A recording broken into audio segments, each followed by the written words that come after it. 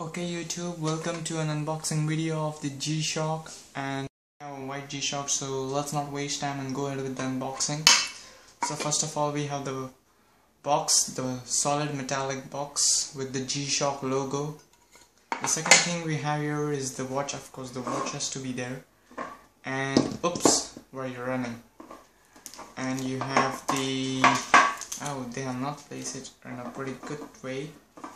But we have the G-Shock user guide. It's in pretty much every language. And the warranty card international warranty card because I bought this from you know the airport. So let's not waste time and go ahead with the features of this watch. It's a pretty metallic watch if you can see.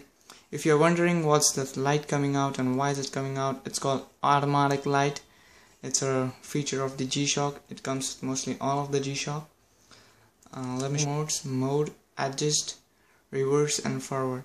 So right now I'm set to the Indian time. That's 356 you can set your time.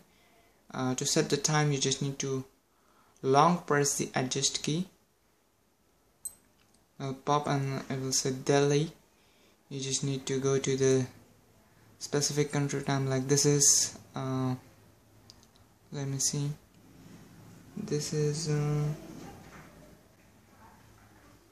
Tokyo TYO it says TYO which means Tokyo. So you just press the adjust key and it will adjust the time. Okay let's get to the next part. We have four modes the stopwatch mode the timer mode the international time which is set to New Jersey for me. The alarm you have four alarms one a two three and four. And there's a snooze option for your alarms and there's a signal option which says that it will tick in every one hour.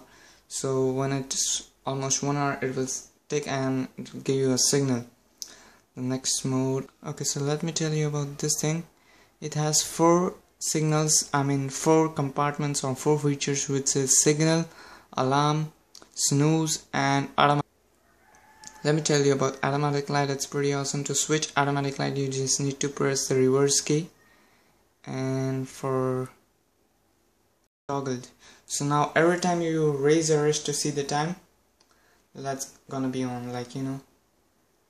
Boom. Boom. It's a pretty cool feature to show off to your friends. Thank you youtube. That's pretty much it please don't forget to subscribe or like if you like the video dislike if you dislike the video.